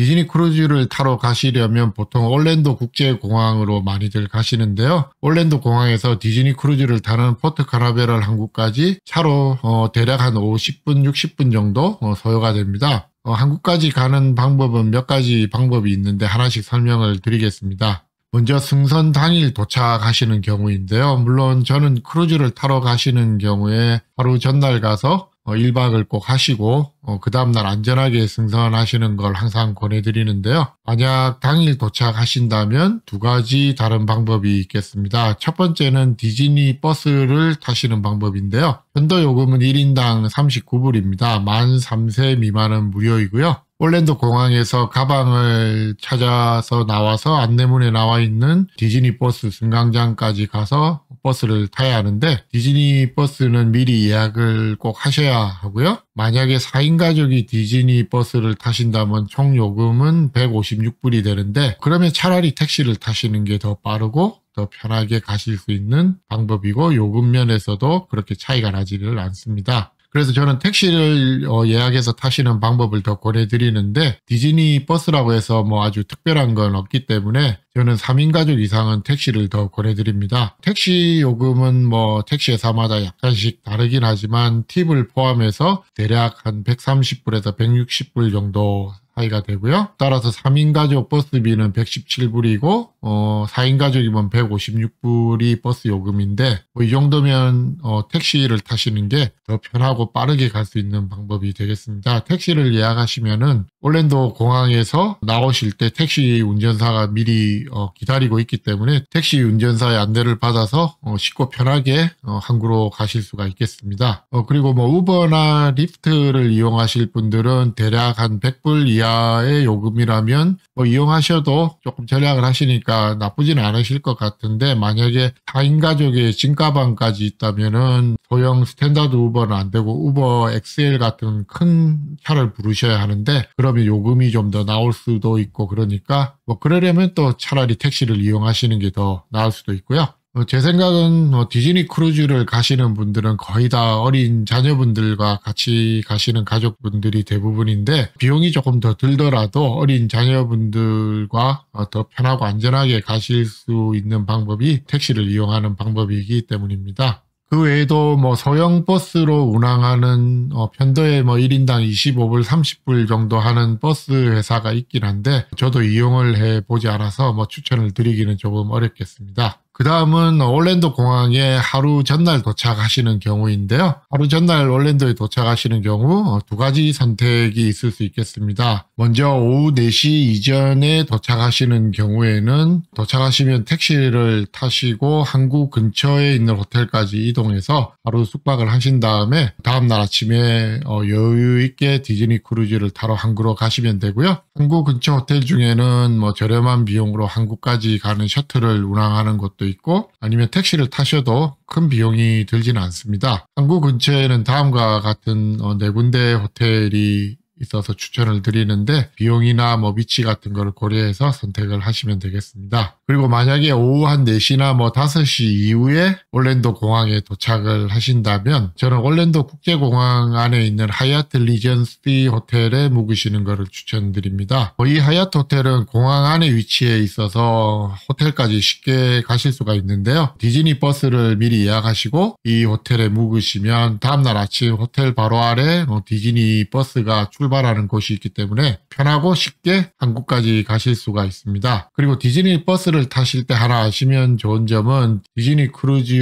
배를 타실 때 맡기는 큰 가방에 붙이는 bag tag을 받으시는데 이 bag tag을 미리 붙이신 다음에 버스에 실으시면 항구에 내리시면 어, 버스에 있는 짐을 바로 어, 배로 실어주기 때문에 따로 뭐 가방을 찾아서 직접 또 맡겨야 되는 어, 그런 수고를 좀 덜 수는 있고요.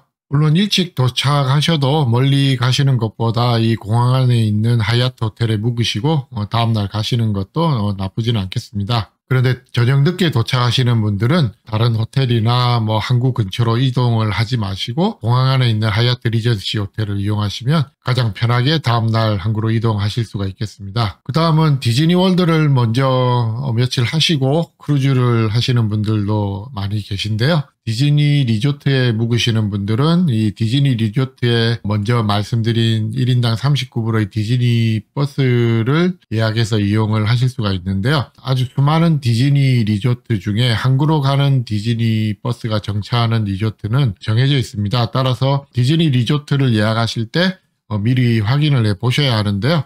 이 디즈니 리조트에 묵으셔도 어, 3, 4인 가족 이상이면 택시를 불러서 타시는 게 어, 훨씬 편하면서도 빠르고 비용 면에서도 별 차이가 나지는 않습니다. 단 택시 요금은 올랜도 공항에서 항구로 가는 택시 요금보다 이 디즈니 리조트라든지 어, 유니버설 스튜디오 등 어, 올랜도 다른 지역에서 항구로 가는 택시비는 좀 더 비쌉니다. 마지막으로는 올랜도에서 어, 차를 렌트해서 다니시는 분들이 계신데 미리 올랜도 지역에 가서 렌트카로 다니셨던 분들은 렌트카 회사에 따라서 뭐 약간 다르지만 어, 미국에 있는 거의 모든 대형 렌트카 업체들은 올랜도 항구 근처에 사무소가 있기 때문에 승선하시는 날 한국 근처에 있는 렌트카 사무실로 가서 차량을 반납하시면 렌트카 사무소에서는 한국까지 가시는 셔틀버스를 무료로 제공을 해드립니다. 이렇게 하시면은 승선하러 가시는 날 한국까지 가는 교통 비용이 렌트카 비용에 포함이 되니까 꽤 전략을 하실 수가 있는데요. 보통 렌트카를 올랜도 공항에서 많이 빌리시는데 한국 근처에 반납을 하셔도 같은 플로리다 지역이기 때문에 요금 차이는 별로 많이 나질 않습니다. 렌트카 예약을 하실 때 반납 장소를 플로리다에 있는 케이프 카나베랄이라는 지역으로 찾으시면 되겠습니다. 다음은 항구 도착 시간인데요. 디즈니 크루즈를 예약하시고 온라인 승객 등록을 하실 때 어, 항구 도착 시간을 어, 지정하시게 되는데요. 어, 이때 빠른 시간을 선택하셔서 어, 빨리 항구로 가셔서 수속하시고 승선을 일찍 가셔서 뭐 조금이라도 빨리 디즈니 크루즈를 즐기시면 좋은데 만약 예약을 좀 늦게 하시고 어, 승객 등록마저 늦게 하셨다면은 늦은 시간만 선택이 가능합니다. 만약에 원하는 항구 도착 시간보다 뭐 늦은 시간만 선택이 가능하다 하더라도 어, 항구에는 어, 일찍 가시는 게 좋습니다. 항구에 어, 정해진 시간보다 일찍 가셔도 뭐 밖에 기다리셔야 되는 건 아니고 터미널 안에 들어가셔서 검색대 지나시고 그 다음에 일찍 승선 수속까지는 하실 수가 있고요. 다만 이제 승선 순서는 정해진 시간까지 좀 기다리셔야 하니까 일찍 가신다고 꼭 일찍 승선을 하실 수는 없지만 그래도 일부러 늦게 가실 필요는 없고요. 이번 뭐 코로나 사태 이후로 이 승선 절차나 뭐 시간 같은 게 뭐 어떻게 더 까다로워질지는 아직 알 수는 없는데요. 어쨌든 일찍 예약을 하시고 온라인 승객 등록도 최대한 일찍 하시는 게 여러모로 좋겠습니다. 온라인 승객 등록은 디즈니 크루즈 웹사이트에서 하실 수 있는데요. 먼저 회원 등록을 하신 후에 하시면 되고 이 온라인 승객 등록을 하시는 데서 기항지 관광이나 뭐 specialty 식당 예약, 그 다음에 배 안에 있는 각종 행사 등을 미리 예약을 하실 수가 있습니다. 대부분 어, 항구에 있는 터미널은 보통 한 10시 반에서 11시 정도에 오픈을 하는데요. 검색대 통과하고 번호표 받으시고 승선 수속을 마치시면 받으신 승선 번호 순서대로 어, 기다리셨다가 승선을 하시면 되겠습니다. 항구에서 잘 수속을 마치시고 드디어 이제 승선을 하시게 되면은 어, 다른 뭐 크루즈 배들과 마찬가지로 배 안에서 점심 식사를 하시게 되는데요. 뷔페 식당 카바나로 가실 수도 있지만 아무래도 아주 혼잡하기 때문에 어, 저는 디즈니 드림이나 판타지호를 타신다면 3층 뒤편에 있는 애니메이터 팔러스로 가서 어, 점심 식사를 하시는 게 좀 더 한가롭게 하실 수 있기 때문에 권해드리고요. 만약에 뭐 컨시어지 선실이나 뭐 그런 선실 이상을 예약을 하셨다면 인첸티드 가든으로 가서 점심 식사를 하실 수가 있습니다. 만약에 디즈니 원더호를 타신다면 어, 트라이톤 식당으로 가셔도 되고 어, 디즈니 매직호는 루미에르 식당으로 가셔서 점심 식사를 하시면은 혼잡한 어, 뷔페 식당을 좀 피하실 수가 있는데요.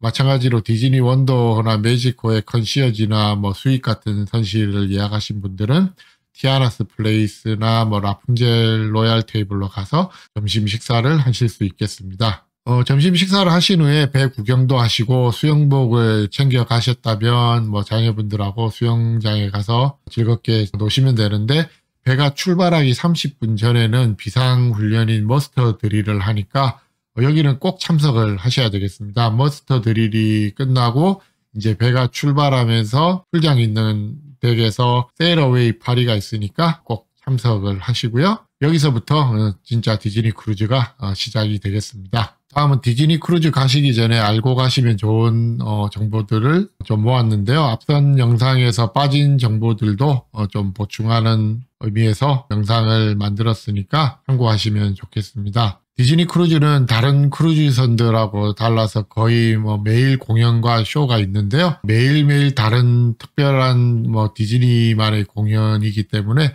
하루도 빠지지 말고 어, 보시면 좋겠습니다. 디즈니 크루즈 같은 경우는 7박이면 거의 매일 다른 쇼가 있기 때문에 하루도 빠지지 말고 잘 챙겨 보시면 좋겠고요. 그리고 디즈니 극장에서는 디즈니 영화를 상영을 하는데 그러면 개봉한 지 얼마 되지 않은 최신 영화를 상영할 때도 뭐 많이 있으니까 영화 스케줄 잘 챙겨서 보시면 좋겠고요. 다음은 디즈니 캐릭터 만나기입니다. 디즈니 크루즈 선 안에는 디즈니 월드에서보다 훨씬 더 많은 디즈니 캐릭터들을 만나실 수도 있고 뭐 같이 사진도 찍고 사인도 받고 하실 수가 있는데요. 먼저 항구에서 승선을 기다리시는 동안에도 뭐 미키마우스나 구피 뭐 이런 캐릭터들을 만나실 수도 있고 승선을 하시면은 선상 신문을 보시면 언제 어떤 장소에서 어떤 캐릭터가 나온다는 스케줄이 미리 다 있으니까 자녀분들이 좋아하는 캐릭터가 있으면 스케줄 시간 한 15분쯤 전에 가서 미리 줄을 서서 뭐 같이 사진도 찍고 하시면 더 좋고요.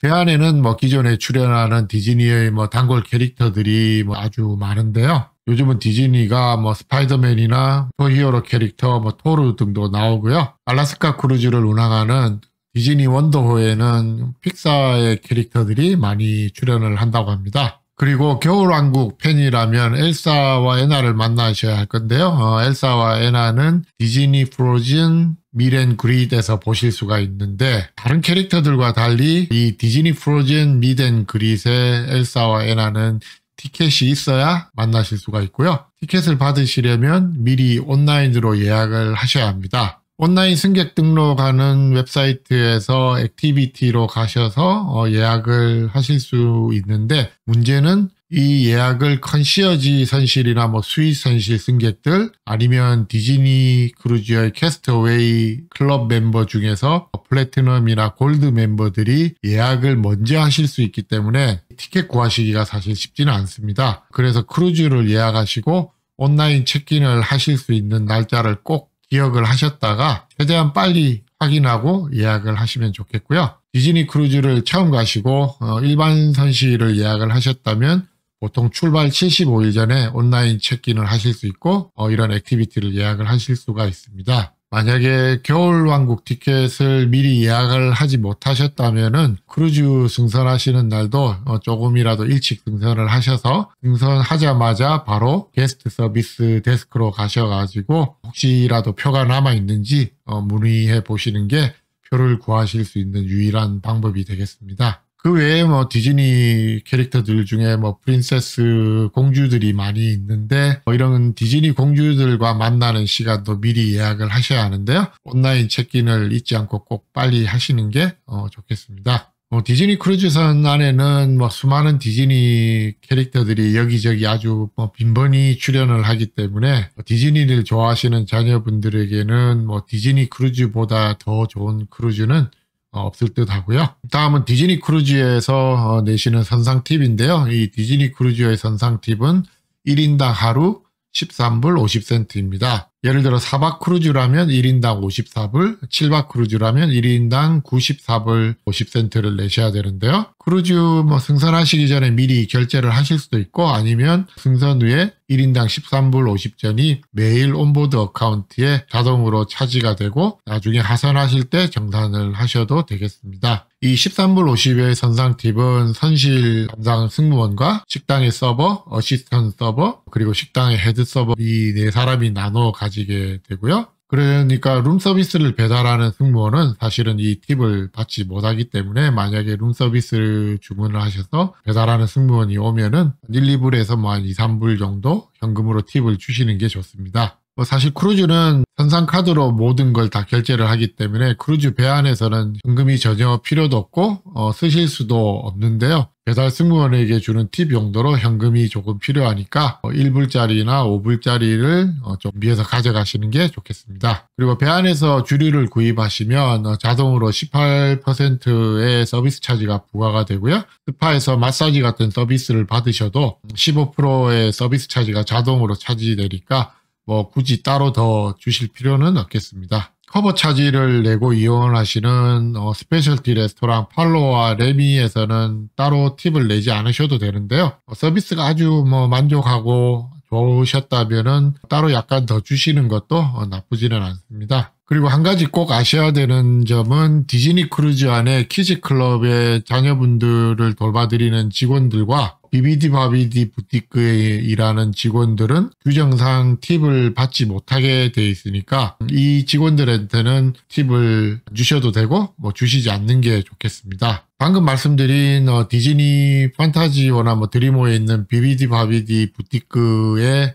어, 패키지에 대해서 좀 설명을 드리겠는데요. 어, 이번에 설명을 드리는 이 패키지는 배 타러 가셔서 어, 또 돈을 쓰셔야 하는 또 돈을 쓰게 만드는 비비디 바비디 부티크 패키지입니다. 어, 따님을 어, 공주님으로 만들어 드리는 패키지인데요. 어, 물론 마드님을 해적으로 분장을 해 드릴 수도 있는데 가격이 아주 다양하고 뭐 그리 저렴하지는 않는데요. 음, 가장 저렴한 패키지가 99불부터 시작을 하고 가장 비싼 패키지는 795불짜리 어, 패키지까지 있습니다. 그 중에서 역시 뭐 가장 인기 있는 프로즌 겨울왕국 패키지는 1인당 어, 179불입니다. 이 BBD 바비디 패키지는 온라인 체크인 하시는 데서 미리 예약을 하실 수도 있고요. 승선 후에 부티크로 가서 예약을 하실 수도 있는데요. 부티크는 5층 중간쯤에 위치하고 있고요. 패키지 종류와 가격은 다음과 같으니까 참고를 하시기 바랍니다. 물론 가격은 좀 변동이 될 수가 있고요.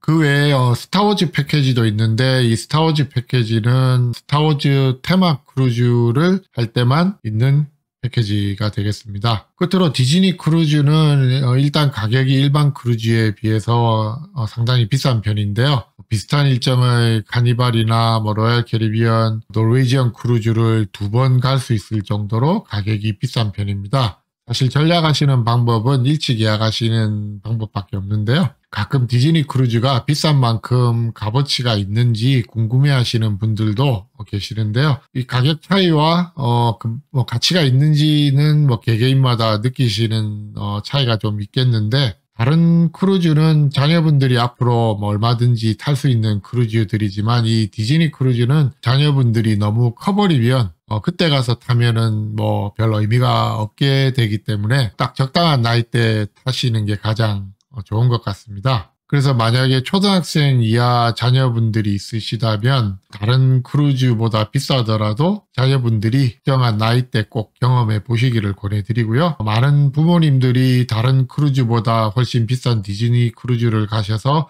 어, 약간은 부담스러우실 수도 있는데 자녀분들이 디즈니 크루즈에 승선하자마자 뭐 아주 즐거워하고 행복해하는 모습을 보면은 대부분 부모님들이 뭐 돈 아까운 생각은 안 난다고들 어, 하십니다. 그럼 여기까지 시청해 주셔서 대단히 감사드리고요. 궁금한 점 있으시면 댓글로 뭐 문의해 주셔도 좋고 뭐 전화나 카카오톡으로 어, 연락을 주셔도 좋겠습니다. 감사합니다.